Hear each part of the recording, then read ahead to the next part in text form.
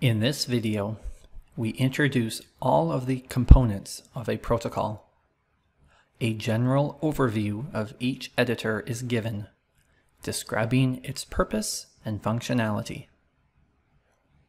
A protocol is made up of several different editors, which can be either a form to enter information to plan or document the study, or a tool to manage an aspect of the study.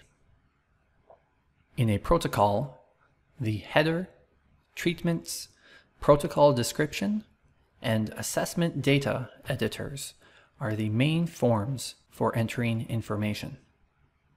The remaining editors provide various tools to plan and manage the study. We begin in an empty protocol. There are a couple of ways to see that a protocol is open.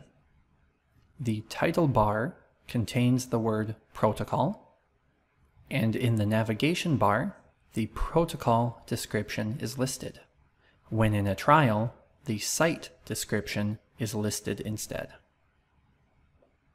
The first editor in the list is the header.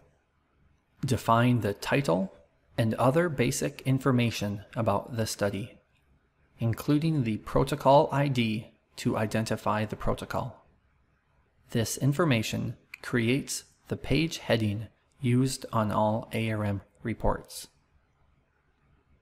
The Treatments editor is used to describe the treatments that are to be studied.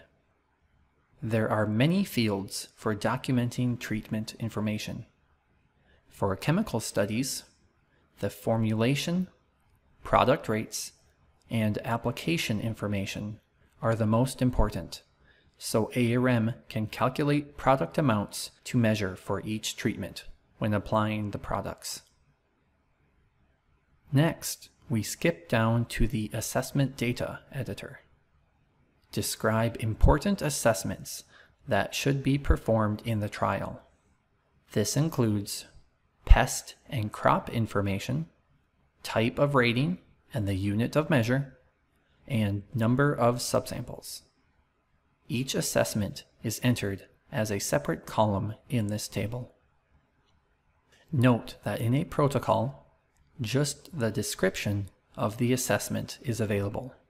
We call this the assessment data header. In a trial, there will be a table for entering the actual data values. The protocol description contains many subsections or tabs to enter all other information for planning the trial. You can define guidelines for establishing the trial, crops and pests to be studied, planned application details, guidelines for when applications should occur at particular crop or pest stages. The Schedule Tasks editor is used to plan and document tasks that must be performed throughout the season. Create a task for treatment applications, taking assessments, and several other categories.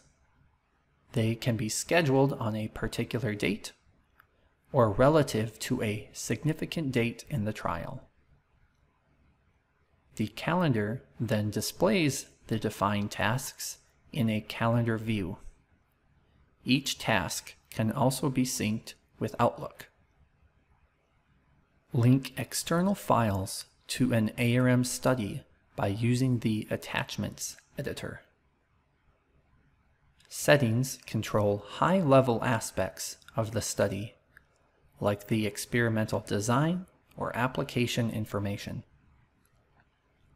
Finally, define study rules to explain and enforce instructions to follow when filling out the study.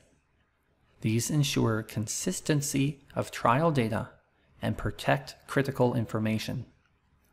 Study rules can be used to communicate to trialists the important data entry fields that should be completed, restrict trialists from changing key trial information, and hide confidential information from those who are not authorized to see it.